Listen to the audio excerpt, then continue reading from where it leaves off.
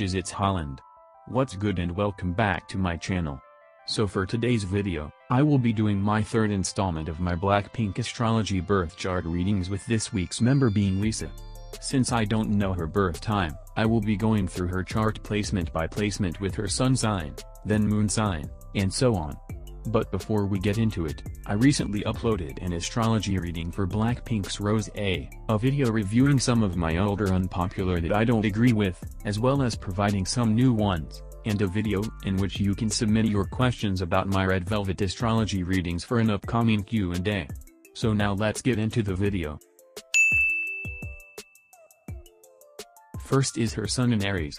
Since Aries is a cardinal sign and rules the first house, the house of beginnings. Lots of Aries people tend to be pioneers and are extremely creative.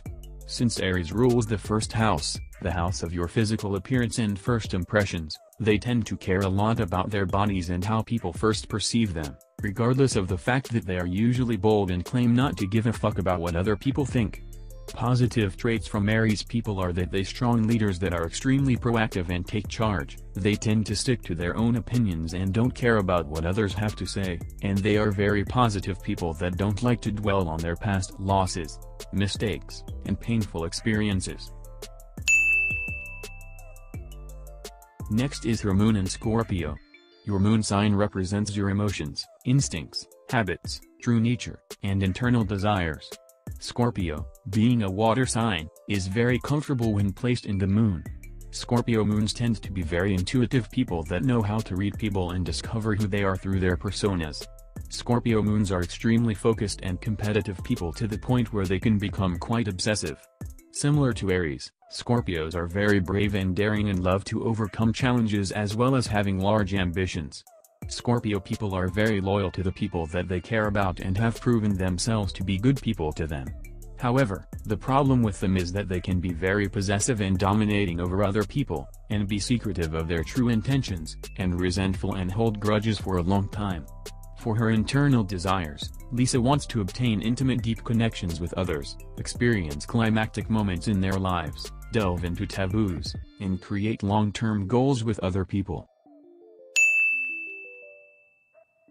Next is her Mercury in Aries. Mercury is the planet of communication, learning, knowledge, and your mindset.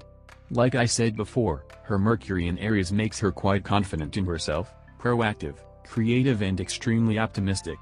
However, the problems this placement brings are that Aries Mercuries tend to be selfish and have a me-first mentality, they struggle with controlling their anger and can come across as aggressive and reactive, when the truth is that they're just passionate about what they talk about, and they struggle with being patient and have a tendency to make a quick decision instead of stopping and thinking before they do something. Next is her Venus in Aries. Venus is the planet of beauty, aesthetics, and romance. Lisa may want to be the more dominant person in the relationship and lead the relationship in a particular direction, and she will bring positive energy to the relationship. However, the problem with her is that she struggles to maintain the same passion she had with her partners at first, which will cause her to be inclined towards more short-term or polyamorous relationships or even cheating, and she will often neglect the needs of her partner with Aries being a very selfish sign. In terms of her aesthetic and fashion style, she prefers to wear sexy clothes that show a lot of skin, bold and eye-catching outfits, and a more tomboyish style with baggy clothes. Next is her retrograded Mars in Virgo. Mars is the planet of passion, drive, aggression, and assertion. Since Virgo rules the sixth house, the house of self-improvement, health, fitness, nutrition, and work life, she will be passionate about all of these things. Virgo people are usually very practical and organized, they tend to be a bit scattered because they are doing so many things at one time. This can cause them to go through exhaustion and burn out easily. Although people with Mars and Virgo can be very difficult and hypercritical at times, they usually aren't the type to start a fight or be aggressive. However, because Lisa's Mars is in retrograde, she may have a hard time asserting or standing up for herself, which is why even though she has a lot of Aries placements in her chart, and she isn't the most reactive person in the world. She also doesn't like competition and prefers to work at her own pace than to compare herself with others. Lastly, her intensity and passion can vary from day to day. Some days she will come on too strong, and other days she won't come on strong enough. Next is her Jupiter in Aquarius.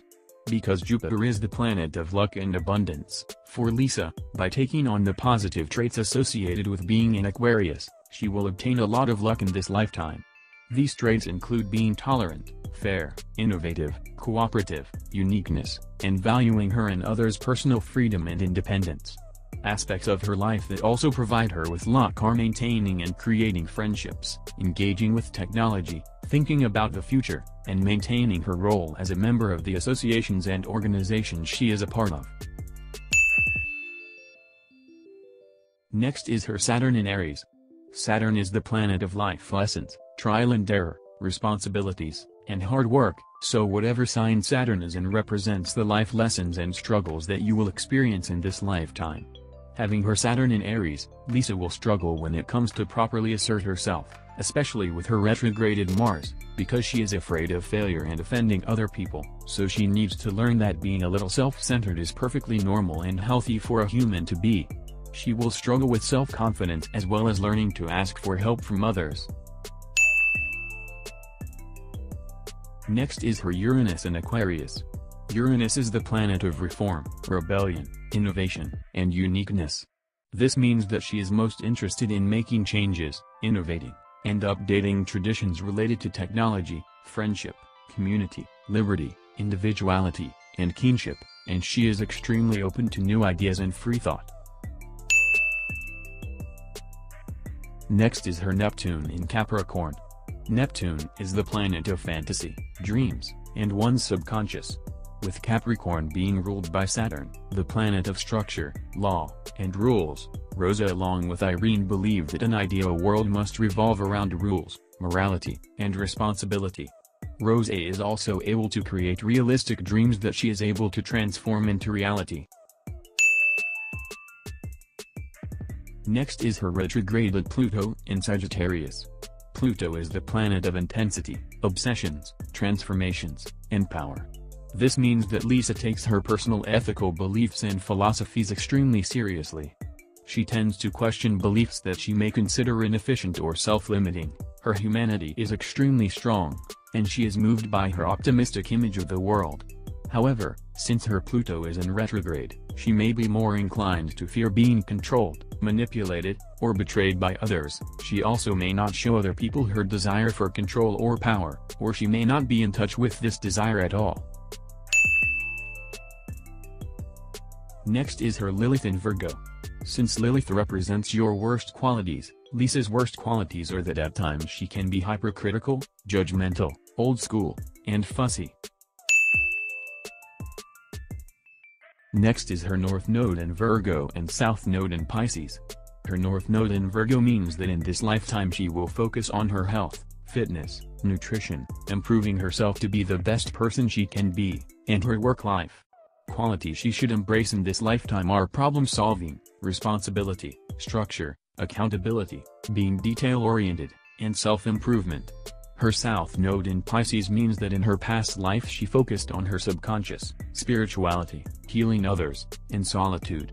Qualities she should reject in this lifetime are deception, emotional manipulation, playing the victim, being too optimistic, being easily seduced or charmed, abusive relationships, and getting lost in unrealistic fantasies.